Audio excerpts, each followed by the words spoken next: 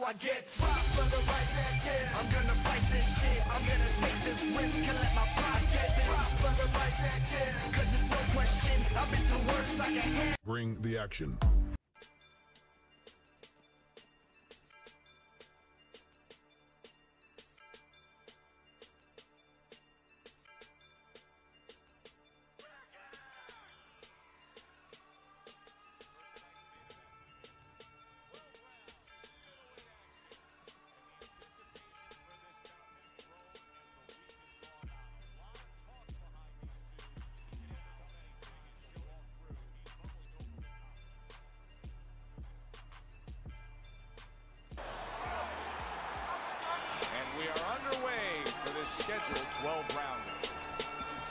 Should we look for early? We've heard so much about his jab. Is it as simple as that?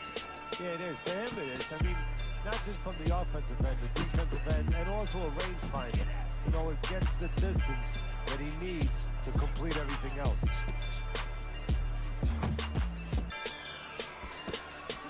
Once the inside fighter does get to the inside where he's comfortable, what can you do to stop him, negate him? You need to take a little step back, create a little bit of a room. Move those feet a little bit. Step back, be able to get him off you a little bit. He missed by a mile. That wasn't even close by Brooks. Back and forth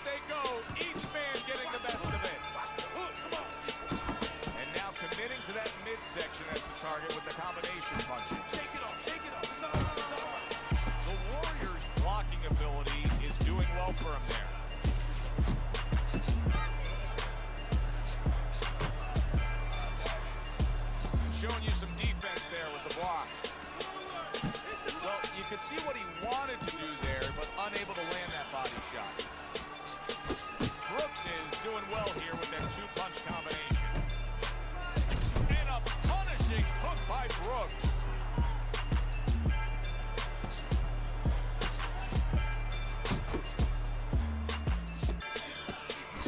That's a nice combination. Left hook to the body, right hand. Gets rid of that. It was intended for his head. Step to the side and then lands the counter. Yeah, disappear on him, then all of a sudden appear on. The way these two are going at it early on, they're going to break the punch stack computer. Well, they're trying to break more than that. They're trying to break each other's will. Not an accurate hook at all. Last 10 seconds of this first round. Risky, that was a busy one. Yeah, it was a busy one. Look, Joe, you don't have to look for these guys. They're right there in front of you. Why do you think that is? Why do you think sometimes you just get those rounds where it all happens? Because of styles. You know, styles make fights. In this case, you see proof of that right there. Both guys that are aggressive, both guys that are very confident. So accurate. Jab, uppercut combination.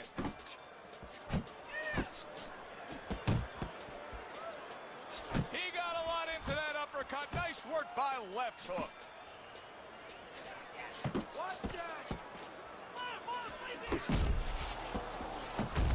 Two good jabs by left hook. The Warriors done a good job there offensively scoring with that left hand.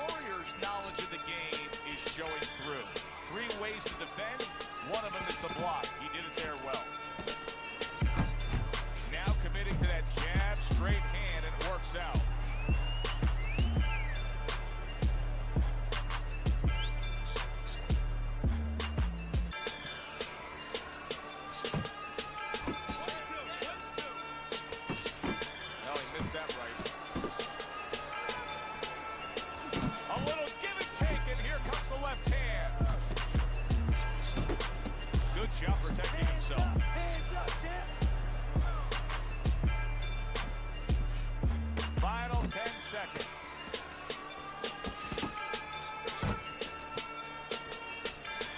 An outside, you're lost. You need a map to find your way. He needs a map right now to find his way. He needs some direction. Brooks is in a good rhythm defensively here. Teddy, what is that? A credit to his ability to anticipate? You know, also it's the teaching. Let's give the trainers credit. Of course, let's give his background of the amateurs credit, but he learned how to get away from punches. This is technique that was taught to. Double jab by Brooks.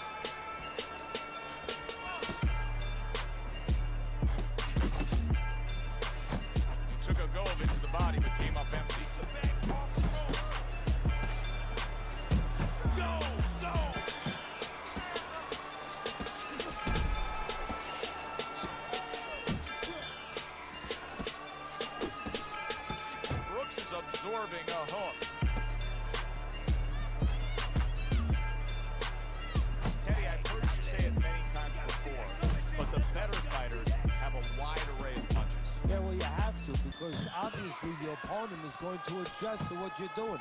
You want to keep them off balance. Stay effective. A snapping combination by left hook. And that's what fighters do. Pulls the trigger right away after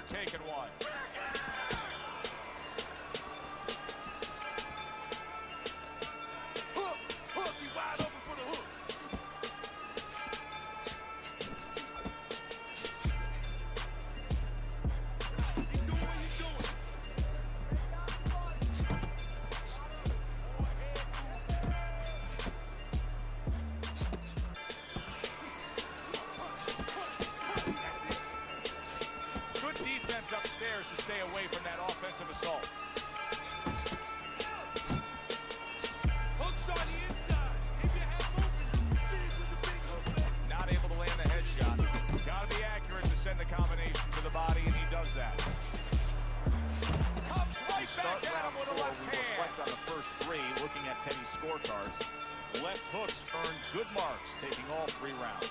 Yeah, not eventful some of the rounds. Not a lot to separate the two guys, but I think that his jab has carried the day. Brooks' strategy coming in was to land a lot of jabs. Teddy, you got to grade him out with an A here. Maybe even an A plus, Joe. That plus is the right hand. Once the jab has been there, bang, the right hand came just when it was supposed to. Give him an A plus.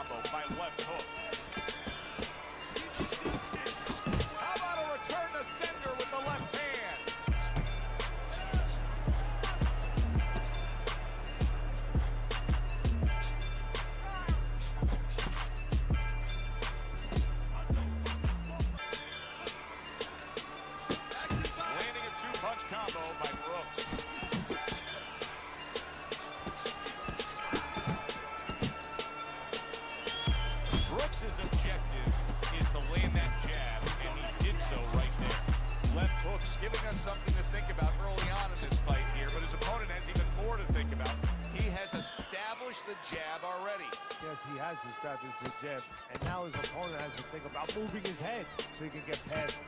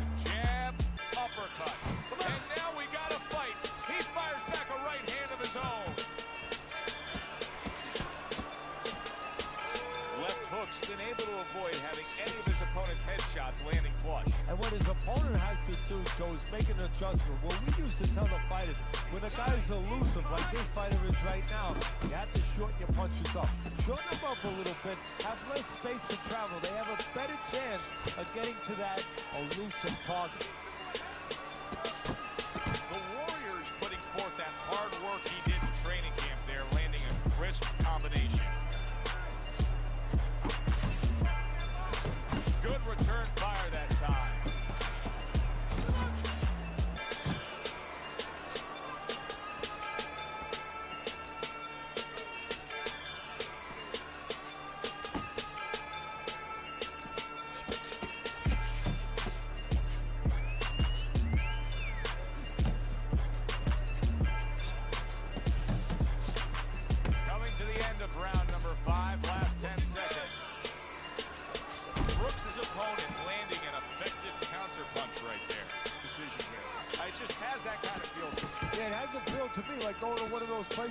eat all the pasta you can for one price, you know? And some guys get carried away. They eat about five bowls. Well, these guys, they're going to have a stomachache at the end. Somebody is going to wind up not standing at the end. Takes one, but gets one. Good work by left hook. Teddy, what would you recommend based on what we're seeing here today? Well, two aspirin and then, oh no, actually I would say a little counterpunching would be just what the doctor ordered. That's a better prescription for him.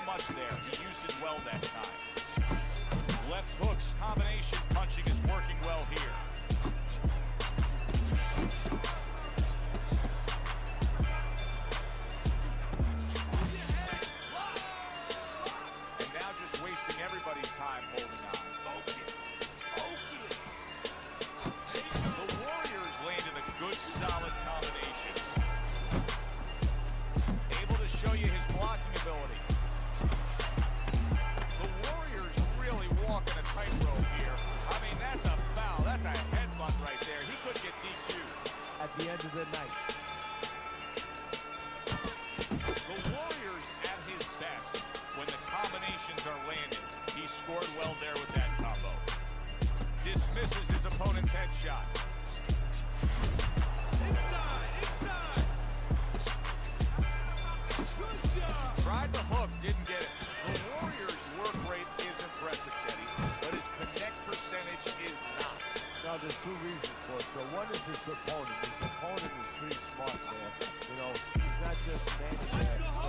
hits it.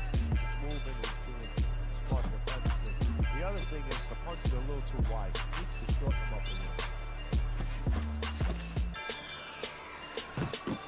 Zoning in on that gut combination punch downstairs.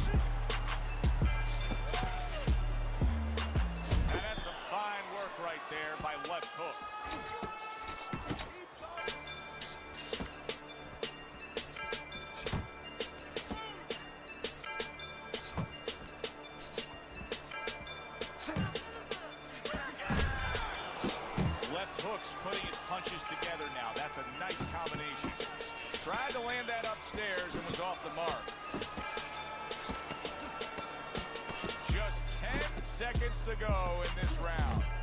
Gets rid of that effort. This fight has been very, very easy to score. You have him up big as we see on your scorecard. That doesn't necessarily mean the second half of the fight's going to go that way. No, it doesn't. What he needs to do is watch that movie, The Gambler. I think it was The Gambler with James Caan, where, you know, he went to sleep and he was ahead with all his games that he bet on. Then he woke up and he caught up to see how much money he won. They told him, you owe 30 grand. He goes, what do you mean I was ahead? You don't pay off at halftime.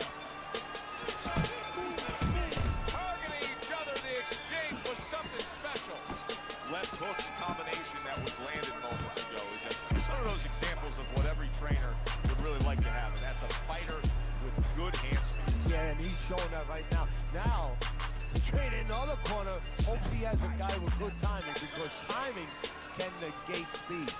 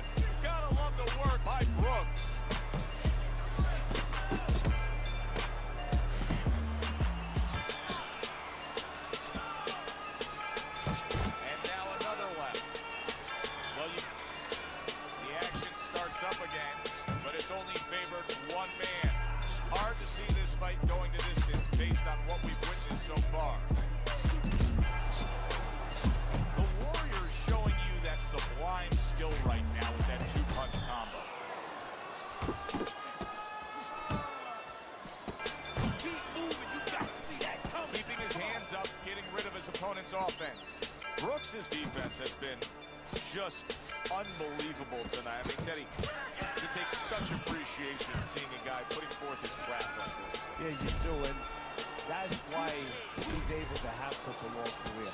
That's why he's able to be, you know, so consistently good because he doesn't take a lot. He doesn't get worn out. He's fresh. Oh, that's good stuff. Fires right back with one of his own. Good work by Brooks.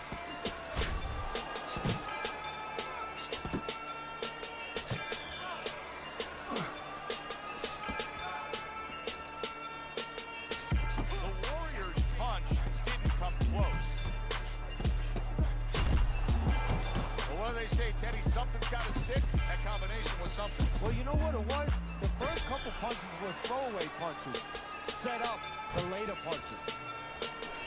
Well placed hook there. He tried to nab him up top, but was unable to connect. He's showing what a skilled fighter he is with the counter punch. Well, the old timers used to say, when you're calm in there, when you're in control in there, you can make him do what you want. He made him tie his shoelaces right there.